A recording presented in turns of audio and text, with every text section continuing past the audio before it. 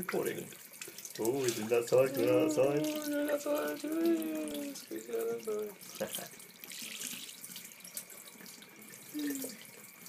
That's a goose heart for you.